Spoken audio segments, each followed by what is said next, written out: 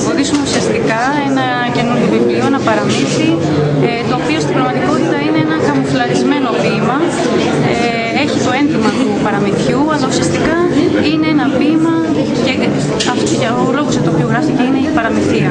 Γι' αυτό και συνδέεται με τον τρόπο που συνδέεται με το παραμύθι.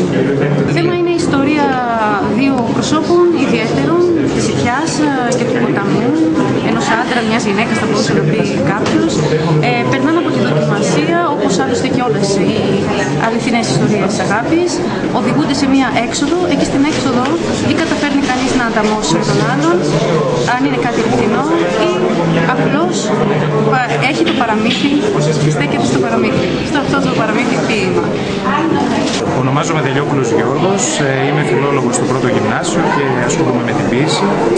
Είμαστε εδώ να προλογίσουμε το βιβλίο της Όλγας Δέλα, ένα ποιητικό παραμύθι της Οικιάς και του Ποταμού. Ε, ένα έργο το οποίο πραγματικά και σε ταξιδεύει και σου δίνει αυτό που πρέπει να σου δώσουν τα παραμύθια. Την παραμυθία, την παρηγοριά, την ελπίδα της αγάπης.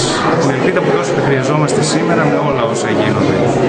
Ε, η ποίηση της Όλγας προσωπικά με συγκινεί και είναι από τα έργα τα οποία σου δείχνουν ότι η ποίηση δεν είναι για λίγους, για κουκουδιάριδες, είναι η ποίηση είναι έκφραση ζωής.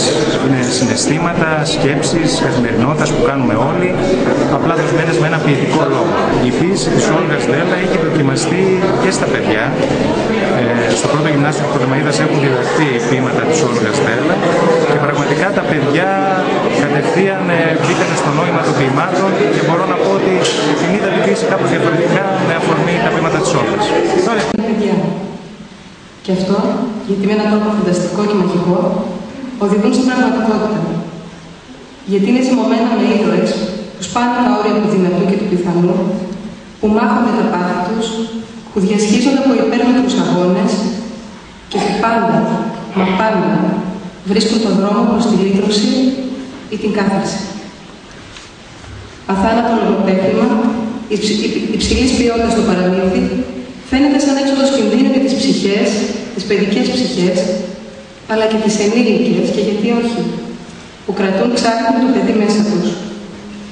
Γιατί ποιο το νόημα της ζωής, αν ξεχάσουμε το παιδί μέσα μας, αυτό που πάντα θα αναζητά την παραμυθία, προκειμένου να αντέξει την πορεία του, στον τόπο, στον χρόνο και στο θάνατο.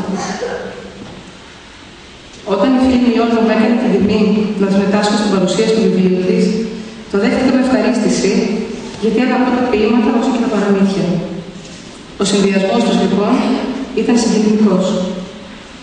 Το παραμύθι της Οικιά και του ποταμού, χωρίς να κάνει το ποιητικό ζητούμενο, έχοντας όλα τα λυρικά του στοιχεία καθαρά, διατηρεί και το δομικό πλαίσιο του παραμυθιού με τις προσωποποιήσει του, τις ανατροπές, την ένταση, τη δοκιμασία, τη λύτρωση και το ευτυχές με την έννοια του όχι ατυχές τέλος του.